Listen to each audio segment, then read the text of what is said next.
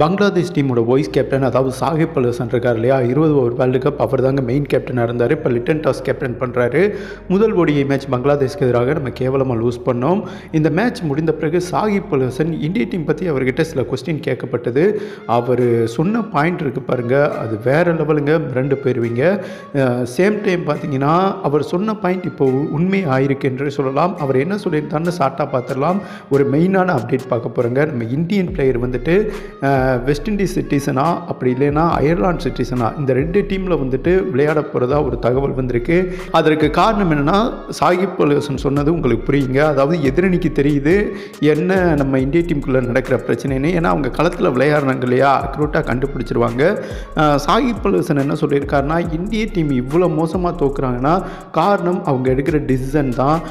தோனி இருந்தவரை இளம் பிளேயர்களை ஈக்குவலாக மேனேஜ் பண்ணுவார். அதிகம் வாய்ப்பு கொடுத்தாரு.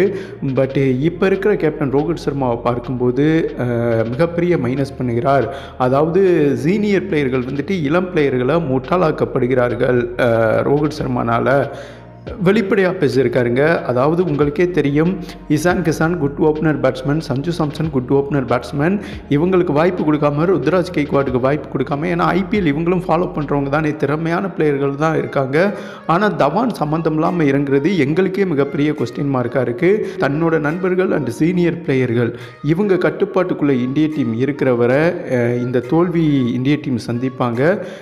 இதை மறந்துட்டு தோனி மாதிரி இளம் பிளேயர்களுக்கு வாய்ப்பு கொடுத்தா இந்திய டீம் மீண்டும் ரெக்கவர் ஆகும் என சாகிப் அலுசன் வேறு லெவல் பாயிண்ட்டை பதிவு பண்ணியிருக்காருங்க. இப்போ இவர் சொன்ன பாயிண்ட் மிகப்பெரிய உண்மையான நிதர்சனமாக மாறி இருக்கு ஏன்னு கேட்டிங்கன்னா சஞ்சய் சாம்சனுக்கு இவங்க வாய்ப்பு கொடுக்க போகிறது இல்லைங்க அரசியல் பண்ணிட்டானுங்க. அதே மாதிரி டி நடராஜனுக்கு அரசியல் பண்ணிட்டானுங்க. கோச் ராகுல் டிராவிட்டு சும்மா ஒப்புக்குச்சப்ப. அவர் சம்பாதிக்க இந்த தொழிலை விட்டால் நம்ம ரோட்டில் பிச்சை எடுக்கன்றான்னு சொல்லிட்டு ரோஹித் சர்மா பிடிச்சி தொங்கிக்கிட்டு இருக்காருன்னு வைங்களேன். அவர் தட்டுறதுக்கெலாம் இவர் ஜில்ஜிங் problem இதனால் இந்திய டீம் தரமட்டமாகிக்கிட்டு இருக்குன்னு வைங்களேன். சஞ்சு சாம்சனை பங்களாதேஷ் ஓடி ஃபார்மேட் எடுக்கலை ருத்ராஜ் கேக்வாட்டை எடுக்கலை. இனி வர தொடரும் அவருக்கு வாய்ப்பு கிடைக்காதுன்னு தகவல் வந்ததுனால இந்த West Indies team and Ireland டீம்லாம் இவங்க ஐபிஎல் பார்த்துருக்காங்க இல்லையா? என்னடா இப்படி ஒரு பிக் பிளேயரை வந்துட்டு விளையாட வைக்காமல் இருக்கீங்க? ஒரு கட்டமண்ணாக ஆக்கி வச்சுருக்கீங்களடா? ஒரு பில்டிங் கட்டுற மண்ணை கட்டமண்ணாக ஆக்கி வச்சுருக்கீங்க. எங்கள் நாட்டுக்கே ஒரு சிட்டிசனாக ப்ளே பண்ணலாமா? ஒரு கேப்டனாக அதாவது வெஸ்ட் இண்டீஸ் டீமும் அப்ரோச் பண்ணியிருக்காங்க சஞ்சு சாம்சனை. அயர்லாந்து டீமும் அப்ரோச் பண்ணியிருக்காங்க சேம் டைம் ஒரு இந்தியன் பிளேயர் அங்கே போய் ஒரு கேப்டனாக வழி நடத்தினா அந்த ரெண்டு டீமுக்குமே மிகப்பெரிய லெவலில் பிராண்ட் கிடைக்கும் பிராண்ட் கிடைக்கும் பிராண்ட் அம்பாஸ்டரா மிகப்பெரிய லெவலில் உருவாவாங்க.